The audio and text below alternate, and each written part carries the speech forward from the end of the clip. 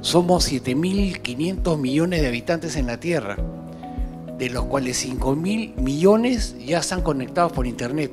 Eso para mí fue algo impactante, ¿no? Luego de que los últimos 10 años 2.000 millones de personas se habían integrado a, usar Internet, o sea, casi 200 millones por año. La velocidad ahora es de 380 millones de personas que se integran al año. Quiere decir de que tal vez el planeta entero va a estar integrado en 10 años. Toda la gente va a tener eh, comunicación y va a poder eh, llegar al productor, al proveedor, va a tratar de acortar los caminos, tanto el proveedor para llegar al productor como el productor para llegar al proveedor. Eh, ¿Cómo van a ser esos caminos? Está en manos de ustedes, de nosotros, ¿no? El diseñar eh, productos para esta inmensidad de gente que tiene todo tipo de necesidades.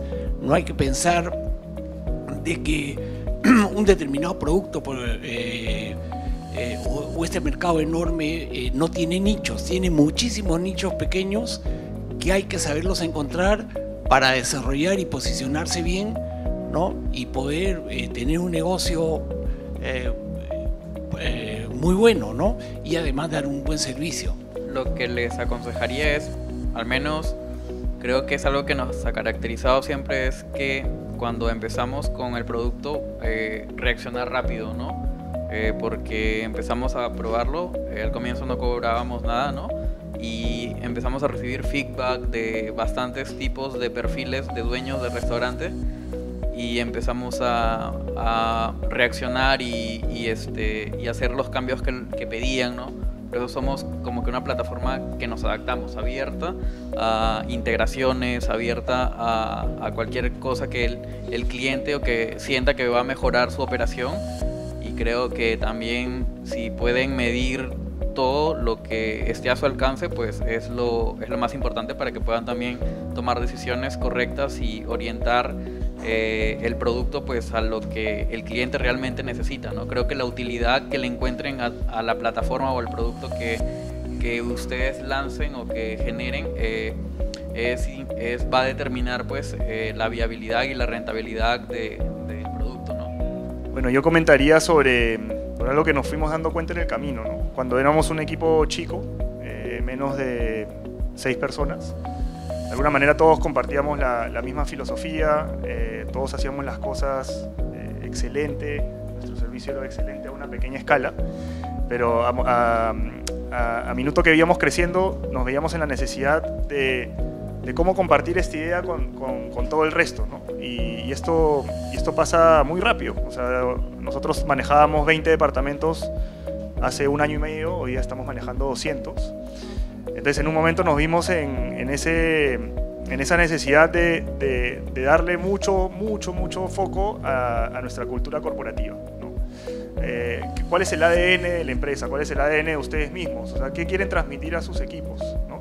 Y que eso lo, lo, entiendan muy bien y se den el tiempo, porque es una cosa que no lo vas a implementar para el día de mañana, no es un Excel que vas a hacer y al día siguiente lo vas a tener listo, sino es algo que te va a demorar, pero que te va a traer muchísimas satisfacciones eh, a, a, mediano y largo plazo. ¿no? Eh, yo creo que todos estamos aquí con ideas de mediano y largo plazo que tenemos que poner mucho foco en el día a día, sí, pero no dejar de ver a dónde queremos llegar. Y para eso eh, compartir eh, lo que tenemos en la cabeza y que entre a, otra gente y que naturalmente le salga, yo creo que es la clave de que, de que esto vaya bien. Eh, bueno, algunas creo que hay que incorporar el tema de tecnología a este sector, ¿no? Definitivamente, y justamente estos tipos de eventos ayudan a ello, ya que están enfocados, son puntuales para esos temas. Esa sería una recomendación. Hay que también hay que comenzar a cambiar un poco de paradigmas, hay que eh, entender que esto es amigable, que no es que eh, genere o deje desempleo, de repente un poco también sensibilizar en la temática, porque al final tenemos que saber que el público, que digo, el turista tiene que salir satisfecho, entonces ellos eh, si son extranjeros están, están, y nacionales están, están adecuados a otras tendencias que nosotros también tenemos que, comenzar a responder las demandas que ellos tienen. ¿no? Eh, bueno, una, alguna sugerencia adicional para el emprendedor, piensen en una solución que realmente solucione la necesidad del usuario final.